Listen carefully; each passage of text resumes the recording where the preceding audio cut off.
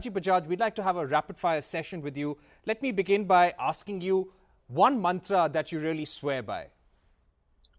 Well, Parikshit, uh, I learned this from my marketing guru, uh, Jack Trout. It has stood me in good stead. And the three words are narrow your focus. And if I were to elaborate on that, uh, what he was telling me is whenever you're in trouble, uh, the mantra for that is narrow your focus. Uh, whether you narrow your focus in terms of technology, in terms of brand, product, uh, geography, distribution, whatever be the uh, axis you do it on. But uh, if you're looking for a solution, you are likely to find it if you narrow your. Top advice for a leader.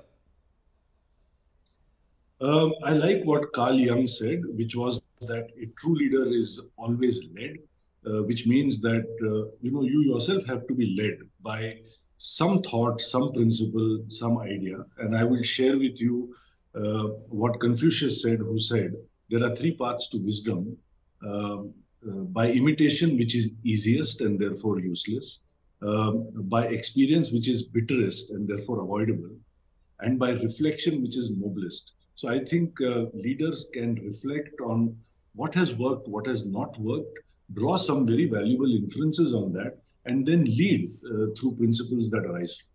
Right. Uh, biggest career regret? Uh, so I've been at Bajaj for 33 years, so there should be many.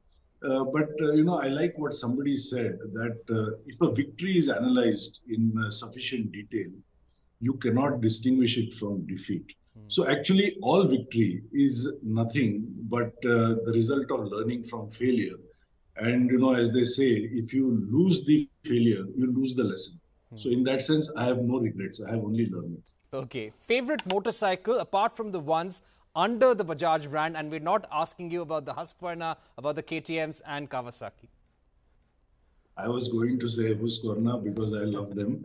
Uh, but you've counted that out. So, as you said, I don't pull any punches. So, I'll tell you very candidly, I think uh, Royal Enfield is the most beautiful motorcycle in the Okay, so you're saying Royal Enfield is the most beautiful. Uh, the biggest disruption that you see in the industry coming in the next 10 years?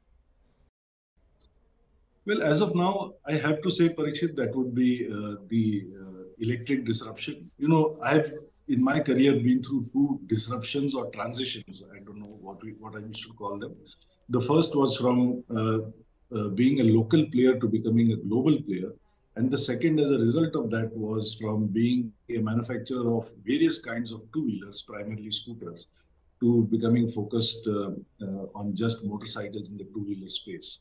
So these are two transitions, I would say, or disruptions we have successfully been through and you know become the world's most valuable two wheeler maker on that basis.